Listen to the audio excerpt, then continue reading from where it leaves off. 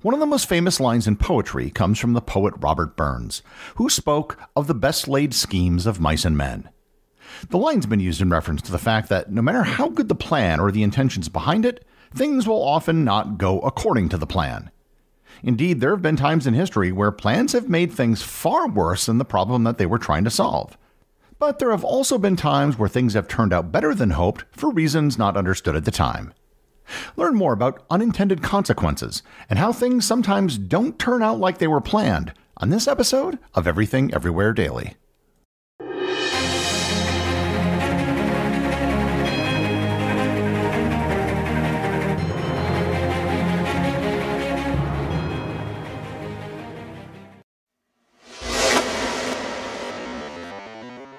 There are unintended consequences that we encounter every day, some of which involve decisions that we've made.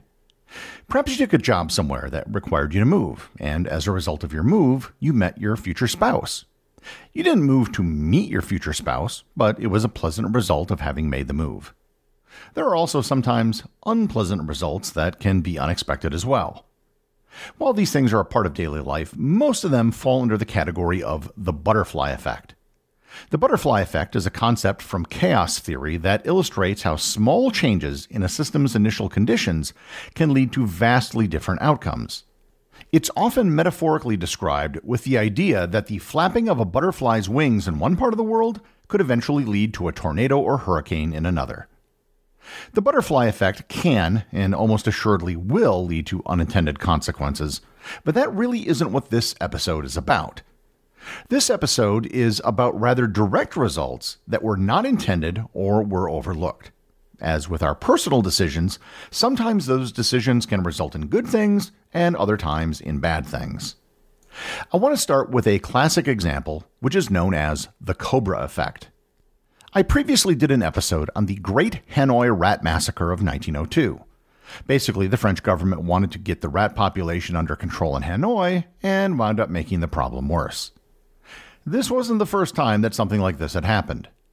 The Cobra effect is named after an incident that took place in the 19th century in Delhi, India. The city had a problem with cobras. Cobras are extremely deadly snakes, and the British who controlled India at the time put a plan in place to rid the city of cobras. They would provide a bounty for every dead cobra that was brought in. The plan sounded good. The government would harness the economic incentives to encourage people to kill cobras, for which they would be rewarded. The plan worked.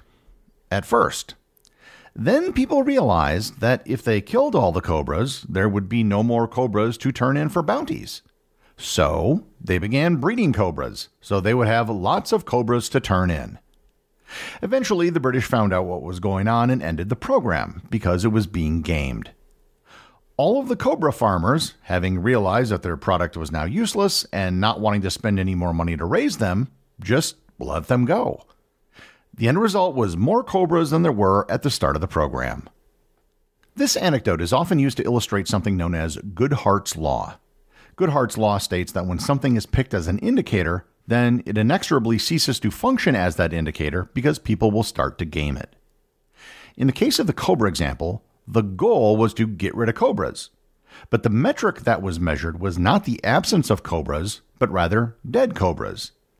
If the powers that be wanted dead cobras, then dead cobras they shall have. Another example of Goodhart's law has to do with academic citations. Academics write research papers and get them published. That's a huge part of what every researcher does. However, how can you determine which researchers have had the biggest impact in their field? It isn't just a matter of who writes the most papers, because somebody could just write a lot of meaningless papers. One method of determining the impact of researchers was proposed in 2005 by a physicist by the name of Jorge E. Hirsch. He proposed tracking the number of times a research paper had been cited in other research papers. This became known as the Hirsch Index, or just the H Index for short. It was a sound idea, but then people began to game the system. Citing yourself counted as a citation, so people began to do that more often. Researchers would often swap citations with other researchers, and some journals would require papers to add irrelevant citations just to boost the H index of some of their authors. Sometimes the exact opposite of the intended result can occur without having anything to do with Goodhart's law. A case in point was the SS Eastland disaster. After the Titanic sank in 1912, steps were taken to ensure that such a disaster never occurred again. One of the problems with the Titanic was that there were not enough lifeboats on board the ship for all the passengers. The United States Congress passed the Seamen's Act in 1915, which, among other things, required ships to be retrofitted to include enough lifeboats for everyone on board the ship. So far, this sounds very reasonable. However, most of the ships at that time were not designed for that many lifeboats, and one such ship was the SS Eastland. The Eastland was a passenger steamship that ran sightseeing tours out of Chicago. In order to meet the requirements of the law, they had to put the lifeboats high up on the ship, which was really the only place they could put them. The problem was, this made the ship extremely top heavy. On July 24, 1915, 2,570 passengers boarded the ship to go out for a cruise. With many of the passengers on the top deck of the ship to get a better view, which is what you do on a sightseeing tour, the ship started to list to one side and eventually rolled over. The ship was only in 20 feet of water in the river, and it was only 20 feet away from the dock, but 844 people were killed. The proximate cause of the disaster was the addition of lifeboats, which were required in order to avoid such a disaster. Sometimes rules put in place end up changing the behaviors of people, which nullify any benefits the rules may have had in the first place. This is known as the Peltzman effect. The Peltzman effect was named after the economist Sam Peltzman, who in 1975 published a controversial paper about the effectiveness of seatbelt legislation. Peltzman claimed that when safety measures were put in place, it resulted in people taking more risks because they felt safe. The increase in risky behavior would nullify the benefits of safety precautions that were put in place. To be sure, if you're in a car crash, a seatbelt will protect you. However, Peltzman claimed that in the aggregate across all of society, the more safe people felt, the more risks they took. This is known as risk homeostasis. For example, in 1968, Sweden changed from driving on the left side of the road to driving on the right. For anyone who has ever driven on the side of the road that they aren't accustomed to, you pay very close attention to what you are doing. For 18 months after Sweden made the change, traffic fatalities actually went down. Then, once people got comfortable with the change, the number of accidents started going up again. The comedian George Carlin once made a joke that if you really want people to drive safely, you shouldn't put an airbag in the steering wheel, you should put a sharp spear. Sometimes you just don't know what the downstream results of something will be because nobody has thought out that many steps. And this example takes place once again in India. As recently as the late 1980s, India had an estimated 40 million vultures. Then in the 1990s, the vulture population started to shrink rapidly and dramatically. Nobody was sure what was happening. Vultures were robust birds that played an important part in the ecosystem, especially in India. India has the largest population of cows in the world, and they're an animal that is sacred in Hinduism, which is practiced by 80% of the population. When a cow died, it was common to let the carcass be eaten by scavengers, in particular, vultures. In the 1990s, cows in India began being treated with a drug known as diclofenac, an anti inflammatory drug that was given to sick cattle. It turned out that even a small amount of diclofenac was lethal to vultures. It would cause their kidneys to stop functioning. The vultures ate the cows that still had the drug in their system and subsequently died en masse. The vulture population shrank by over 99% and today there are only believed to be about 20,000 vultures left in India from the initial population of 40 million.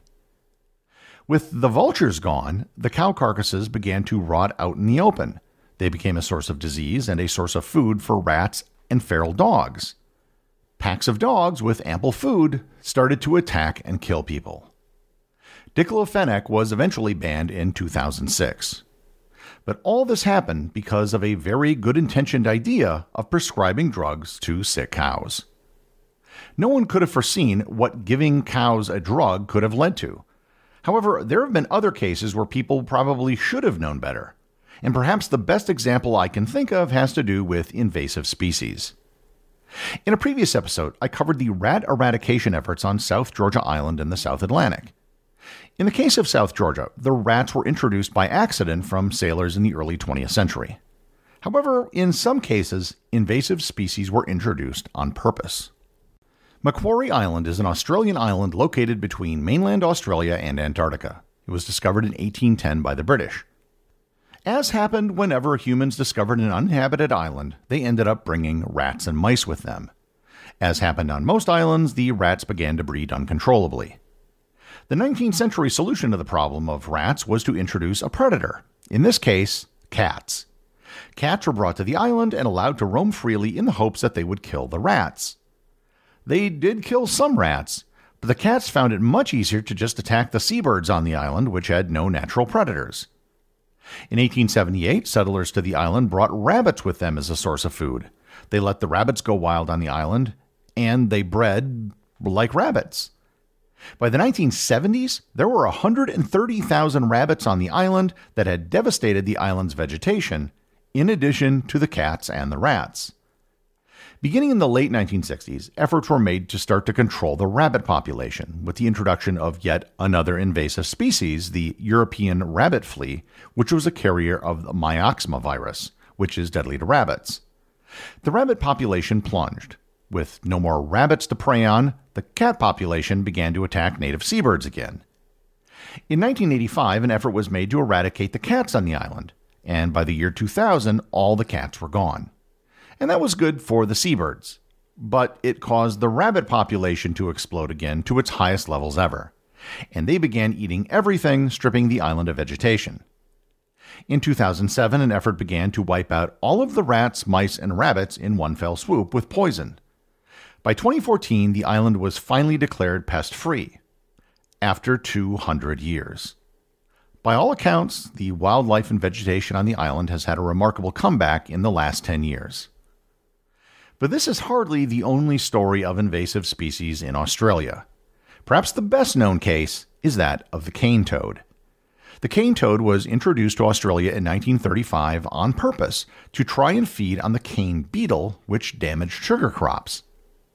102 cane beetles were brought into the country, and today there are estimated to be over 200 million of them. It turns out that cane toads like to eat a lot more than just cane beetles, and they've spread over much of the eastern part of the country. They also have a poison sac, which means that they're killing not only their prey, but also the predators that would otherwise feed on them.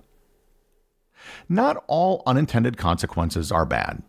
So I will leave you with some unexpected good things that can come from something that otherwise might have been bad.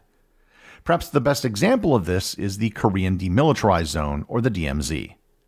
The DMZ was created as a buffer between North and South Korea after the Korean War. The DMZ is 250 kilometers or 160 miles long and 4 kilometers or 2.5 miles wide.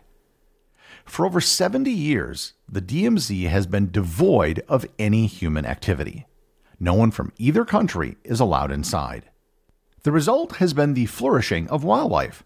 The area has gone completely back to nature, and there are now several species that are only found in the DMZ on the Korean Peninsula.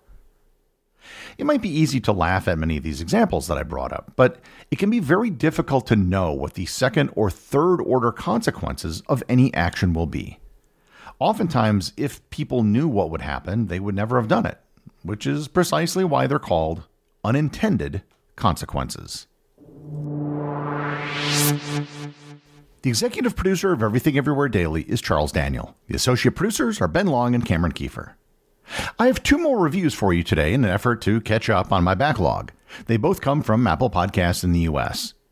The first is from listener Merp Alert, who writes, Perfect podcast for ADHD listeners. I wish I had discovered this podcast a while ago. The short episodes and super diverse topics covered are a dream for somebody with ADD like me, who is curious about everything but has a notoriously short attention span. Feeds my Wikipedia wormhole urges, but without the resultant physical inertia since I can listen to them while doing housework. The second review comes from listener Bill Blaster1, who writes Outstanding podcast. Gary is a very professional, well spoken orator and produces and writes excellent podcasts. They're about 15 minutes long and are very informative. Download or peruse this podcast and you will be entertained. Highly recommended. Well, thank you very much, Bill Blaster and Merp Alerts. Reviews like these are one of the good unintended consequences of doing this podcast. Remember, if you leave a review or send me a boostagram, YouTube can have it right on the show.